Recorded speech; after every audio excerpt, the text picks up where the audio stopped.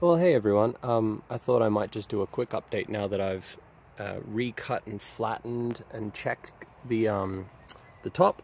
Basically, what I did is you can kind of see from this view it, it was a little bit higher.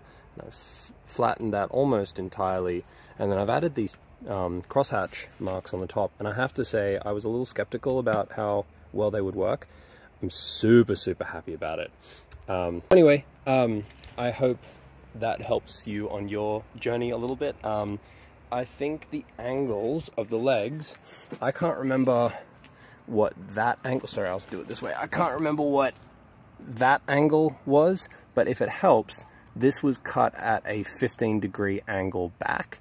So if you want to set that angle, it would be easy enough to basically set your saw.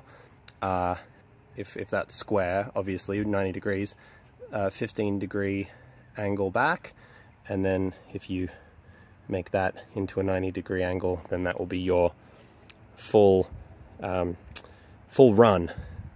Uh, I don't have um, I don't have a protractor or a square on me right now to be able to check that but I thought if somebody wanted to kind of uh, replicate exactly what I've done that's a really good way to start. So yeah that's some strapping that I added from an old tool belt. So that's my loop my um, axe loop this is first aid, little clip for my mallet, and then the maul sits in there. And then around the back here, I've got a little screw for the for the saw.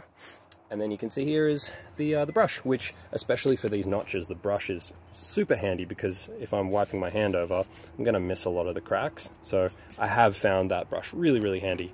Um, and then obviously this is the notch to rest the, uh, the sides of the spoon, which has just been really solid. Anyway, um, I hope you enjoy that and I hope this helps you out a little bit.